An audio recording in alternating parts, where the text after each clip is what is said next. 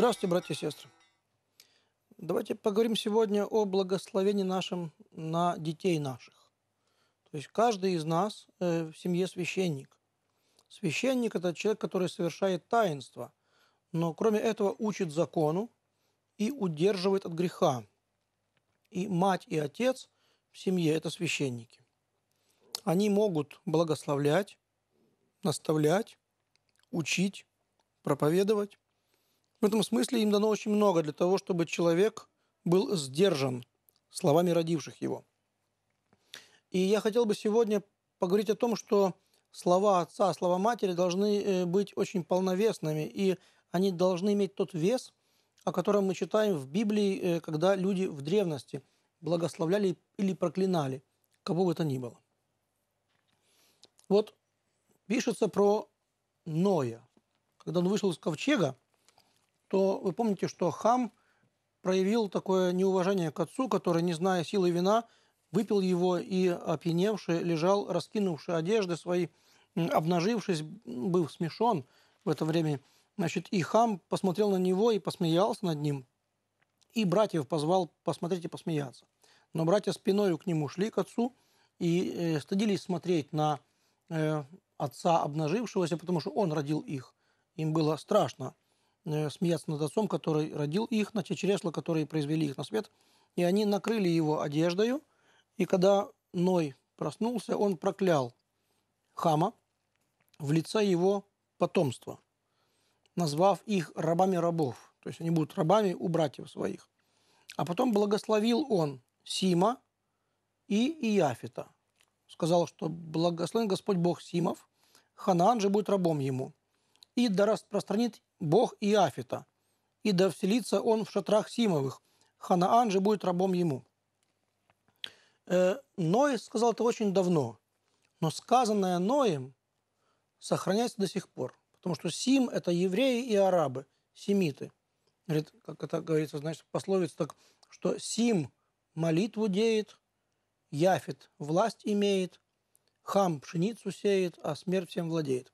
То есть семиты – это благословенный корень, это авраамиты, это дети э, Авраама, потом, значит, евреи и арабы. И они самые, как бы, такие молитвенные люди в мире. Они больше всех любят молиться и больше всех стремятся к Богу. Яфет вселится в шатры Симовы. Вот мы, северные люди, там славяне, норвежцы, там, там норманы, там финны, греки, там, значит, э, масса разных племен, там Европа вся, это все яфетиты – они вселились в шатры Симовы. То есть потом, когда евреи отпали от Христа, Христа не признали, то мы, дети Яфета, вселились в шатры Симовы. То есть мы вошли в то богослужение, в те заветы, в ту молитву, в ту радость, которую раньше имели только одни евреи. А Ханан – раб рабов. Ханан – раб э, Яфету, раб Симу. И это однажды отец сказал, и до сегодняшнего дня это сохраняется. Какую власть имеет отец над детьми? Скажет, и останется. Да будь ты там так, так, так, так, так, так, так, и так оно и будет, потому что Бог дал власть отцу над детьми. И наоборот, скажи, чтобы ты был и вот так, так, так, так, так, так, так. Пусть Господь тебе даст это, пусть даст это, пусть будешь ты таким, таким, таким.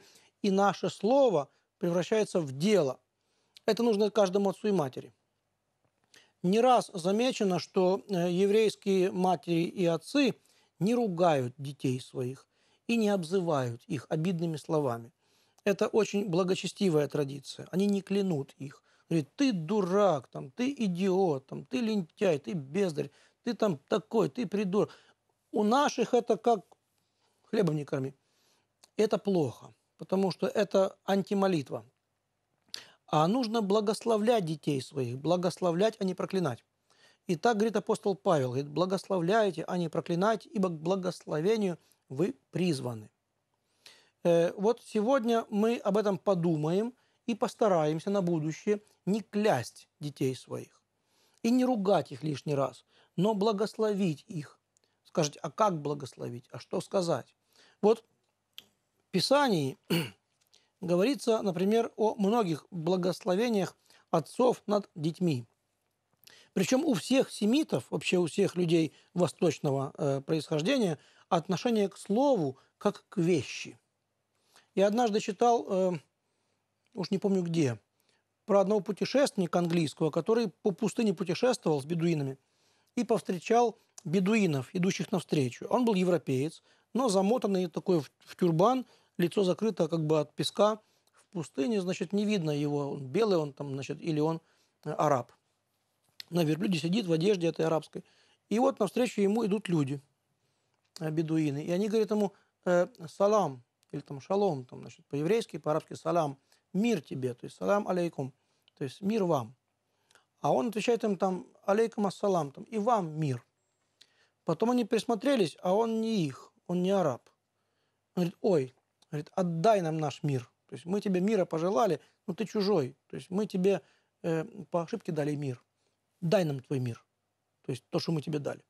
Понимаете, у них слово – это дело. То есть ты сказал «мир тебе», и ты вложил сердце в слово, и ты послал энергию в слово вместе, и ты дал дело вместе со словом. Мы так не относимся к словам, и это наш грех. Мы примитивные, э, такие придурковатые европейцы, для которых слово – это пар, а дело – это дело. Дело можно съесть, дело можно одеть, а слово – это пар, и можно брехать всю жизнь. И это проклятая идеология. Потому что слово – это дело. Мир тебе – это значит, я сердце тебе отдал. Я полсердца тебе отрезал и дал его тебе. На тебе, меня. То есть съешь мое с, э, с моим словом вместе. То есть пусть будет хорошо тебе. Так думали раньше. Чтобы вы не думали, что я выдумываю или фантазирую, э, в Писании говорится о том, как Иаков благословил детей своих. Яков э, был, э, вернее, Исаак был уже стар, а у него был сын Иаков и Исав. И вот э, Исаак, уже ослабевший глазами, не видал, кто из них кто. И мама Ревека э, хотела, чтобы ее сын любимый, э, Яков, получил первородство – и она одела его в шкуры, в которые одевался старший сын Исав, и подвела его обманом к отцу. И отец благословил его, говоря, «Благословен ты, значит, да даст тебе Господь Бог от росы небесной, от тука земного, и множество хлеба и вина, да послужат тебе народы, и да поклонятся тебе племена, и будь благословен, значит, и так далее, и проклинаешь тебя будут прокляты, благословящие тебя будут благословенны». Он получил благословение и ушел.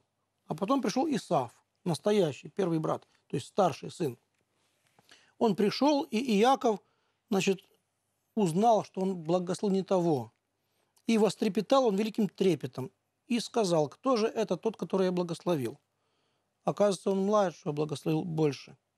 И Исаф выслушал его и поднял громкий и весьма горький вопль и сказал отцу своему, «Отец мой, благослови и меня». Но он сказал, брат твой пришел с хитростью и взял благословение твое. Казалось бы, ну забери оттуда, дай этому. Нельзя. Уже сказано слово. Слово уже сказано. То есть ты сказал все.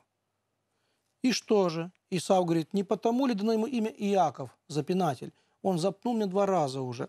Так дай мне благословение. И Исаак благословил его, но гораздо меньшим благословением. Если Яков говорится, даст тебе Господь Бог от росы небесной, от тука земного, то уже Исав, он говорит, даст тебе Господь от тука земного и от росы небесной. То есть наоборот уже. Уже переворачивается уже порядок. Сначала земля, потом небо. А тому сначала небо, потом земля. Так вот, братья и сестры, человек сказал, и оно осталось. И не думайте, что только Яков такой был, там, или Исаак, там, или значит, э, там, Авраам, там, там, скажем, там, или Моисей. Это у всех так. Вот скажешь человеку, там, да ты дурак никчемный, да он так дурак никчемный и будет всю жизнь. И наоборот скажешь, сынок, Господь да благословит тебя, Господь да вразумит тебя, Господь да сохранит тебя. И сохранит Господь, и вразумит Господь, и покроет Господь. Поэтому отцы и матери – не имеют права ругаться на детей своих нехорошими словами, не должны проклинать их, должны благословлять их. И это благословение имеет великую силу. Вот дай Бог, чтобы мы это поняли, почувствовали. Дай Бог, чтобы наши дети были благословенны нами, а через нас Богом. Потому что в этом все их счастье. Ну, пока прощаемся, потом будем встречаться еще раз э, в эфире в следующий день значит, и продолжим эту, эту же самую тему. До свидания.